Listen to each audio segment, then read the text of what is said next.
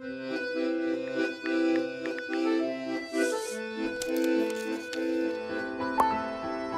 confidence, she stepped through into the new.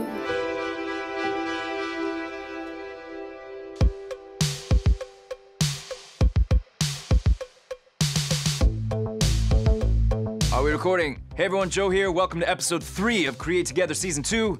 In this show, people from around the world come together to collaborate on creative projects, share stories, create art and music of all kinds. Our theme this season is nature, so everything we're making is inspired by some aspect of the natural world.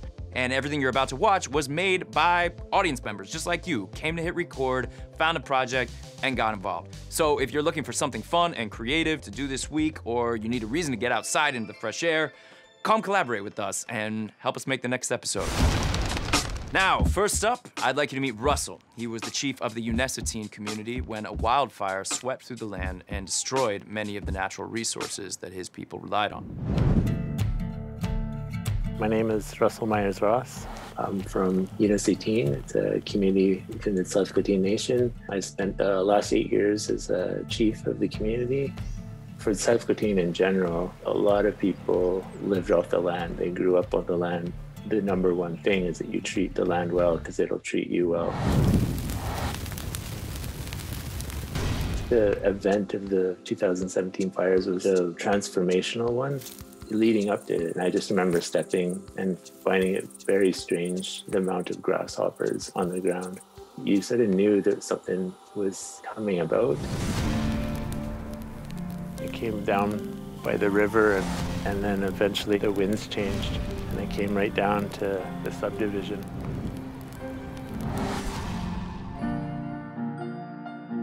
After the fires, it was completely devastating.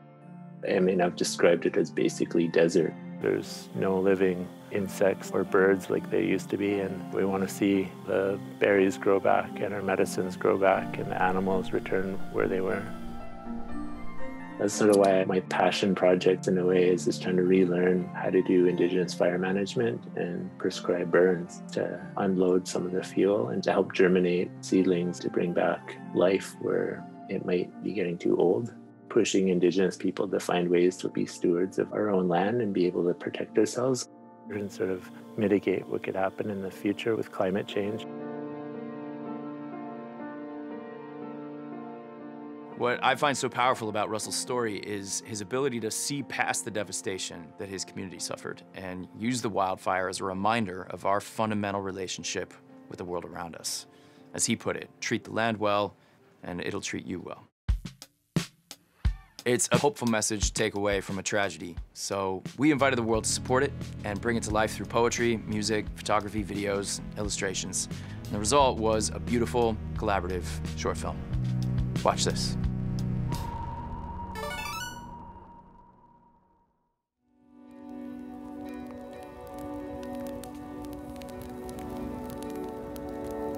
There is smoke descended on everything. Our lungs and hot pink suns. A dramatic dance of flames tells a story of what is yet to come. A fertile blank canvas provides nourishment for new life. It will be okay. There is wild here, held in rhythms beneath our roots, waiting in clouds to burst and bloom. Beginning again to spin and weave through wing and leaf unfurling. A new generation cultivated by fire.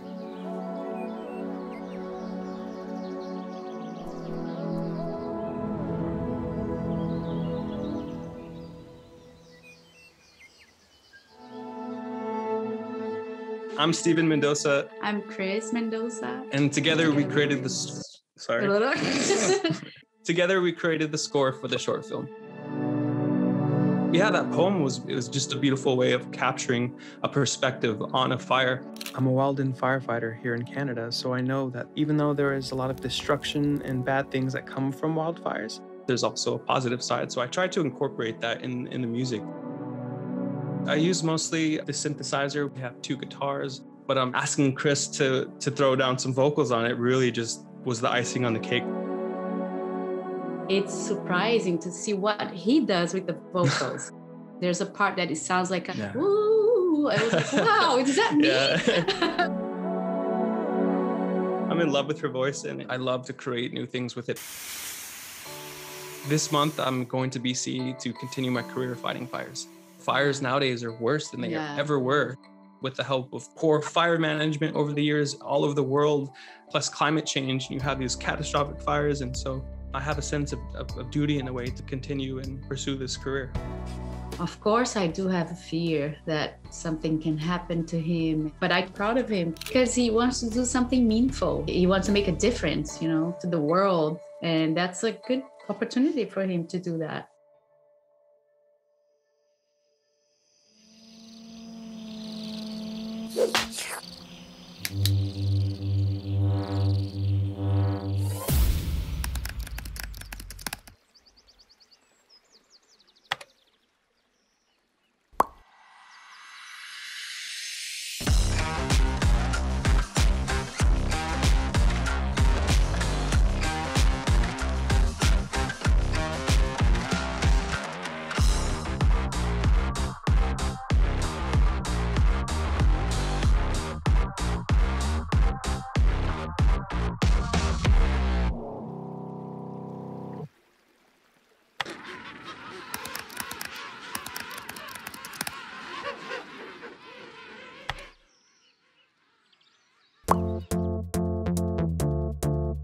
Now, this isn't the first time this season we've heard stories of natural disasters. You may remember Mitzi from episode one, who shared her experience of the typhoons in the Philippines.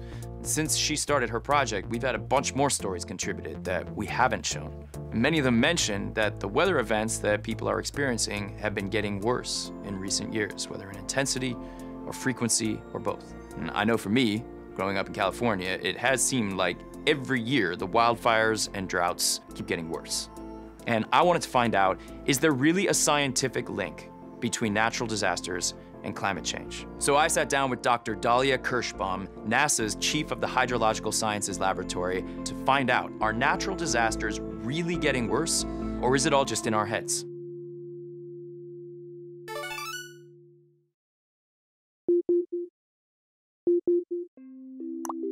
Hey. How you doing? It's so good to meet you. Thank you so much for doing this conversation with me. Sure, happy to do it. This is a really cool project. Thanks for involving me. Yeah, absolutely. So I thought maybe we could just start by I I've read about you, but I always find that when uh, I hear directly from somebody what they're up to, it makes a lot more sense. So yeah. what are you up to? So, my name is Dalia Kirschbaum. I work at NASA's Goddard Space Flight Center and I wear many hats there. But the one that might be the most interesting is I work with different groups around NASA and partners around the world to bring different satellite data to bear when there's natural disasters and help understand the processes before they happen and then contributing to mitigation and rebuilding and resilience afterwards. Mm-hmm. All right. That's something uh, I've been thinking about a lot lately on, on this project on Create Together. A bunch of folks in the Hit Record community have been talking about experiences that they've had with natural mm-hmm. disasters. In particular, one young woman from the Philippines, Mitzi. And where my head goes is, isn't it important to know for sure that climate change is causing these natural disasters? Is there really a link? Yes. Over the past hundred years, humans have been emitting greenhouse gases, and that really serves as a blanket and it really traps the heat in. And so this heat is building up and moving around in our atmosphere. And the disasters that are caused by these movements of heat are different. Some of those disasters, such as extreme heat waves, we can confidently say that climate change is directly influencing the frequency, the intensity of heat waves. And that impacts drought and that impacts fires. We see the increases in fires, extreme fires in Australia, in California, Siberia. Just last year, 2020 was a record year. There's some other things like storms where we know that the air can hold more moisture, and so we have more extreme precipitation because we just have more water in the air. In 2020, we had 30 named storms in the Atlantic with $22 billion weather disasters in the US. That was unprecedented. And from the science, we can understand and attribute them by looking at observations over time, by modeling the processes and understanding the physics. And together, that gives us a very clear picture that humans are causing the warming and that all of these extremes are being exacerbated by this heat that's being moved around our atmosphere. How do you know, like in a practical sense, how do mm-hmm. scientists know that gases that Yeah. come out of a car exhaust pipe are forming this greenhouse glass cover that's that's trapping heat? So we can observe this from space. We have satellites that can look at greenhouse gases. And before that, we actually can look at ice cores. So we can drill into the ice and we can go back 800,000 years and we can measure the gases in the ice bubbles. And so what we see now is that since the Industrial Revolution, we are far beyond where we started in that 800,000 year pattern. That is directly attributable to the carbon dioxide that humans have emitted. And that gas stays in the atmosphere for a long time, and it actually serves to kind of block some of the heat that's coming in and trap it. And that's how you can tell. You can say like, hey, we have the whole record on ice for 800,000 years. And starting in the Industrial Revolution, it goes It's the hockey stick, right? Climate change is really esoteric and difficult to wrap your hands around. But the impacts are happening now. And the people that are impacted by natural disasters are disproportionately impoverished. This is a difficult road ahead. We already know that we're experiencing more extreme events and it's not going to stop. But we understand it and we know how to build resilient systems. Local communities do. I'm seeing community leaders like Mitzi meet with social scientists and scientists and policymakers together to figure out how to fix things. You need to build resilient communities, both to combat climate change, but also as a community to figure out how to build smart cities, how to invest in technology that will withstand heat waves and power grid issues. All of those decisions can really help us thrive in the future. And then we can work to start to curb emissions so that the peaks that we're seeing in 2020 and, and possibly 2021 are the last peaks that we see. You know, we model the future, right? And we can provide a projection for where we may be if we don't curb greenhouse gases. And what we're seeing is that the worst case scenario is looking less and less likely. Oh, that's good. That's- I hadn't heard that before. That's good. That's good. No, because you hear So- some people talk about like, it's already too late. We're just screwed. It's never too late. Every little bit counts to counteract the impacts in the future. We can make decisions and advocate for change at the local level. And that has a broad influence. That is the microphone for policymakers to start enacting real change. And that goes all the way up to the Paris Climate Accord and the efforts that we're already seeing in effect working to reduce greenhouse emissions, to use clean energy. But we need to continue to be vigilant, to be educated. It indeed is going to take a global community that starts at a very local level. So for somebody out there who feels like I have to do something, but I want to do something more than just recycle, especially someone who's on the younger side and still figuring out what they want to do with their life, what are some things that, that a person like that might want to do?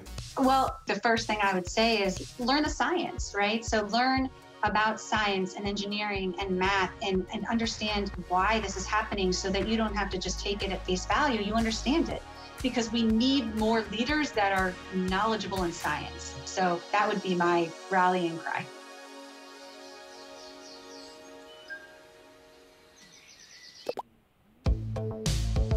So, there you have it. Yes, it is getting worse, and yes, I'm afraid it is our fault. But it's not too late, and there is hope for our planet as long as we pay attention to what the science is telling us and come together as a global community to drive the change that's needed. Thank you to Dr. Kirschbaum for taking the time to talk with me, and thanks to all of you for contributing the stories and art that went into making this week's episode.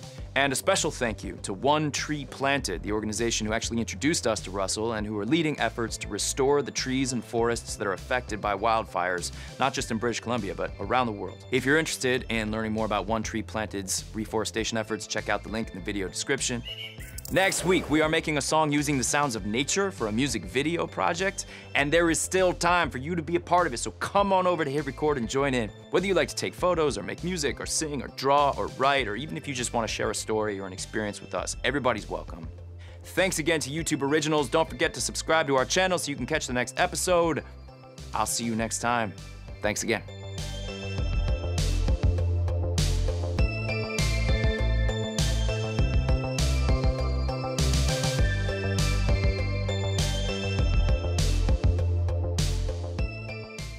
Again, by heart.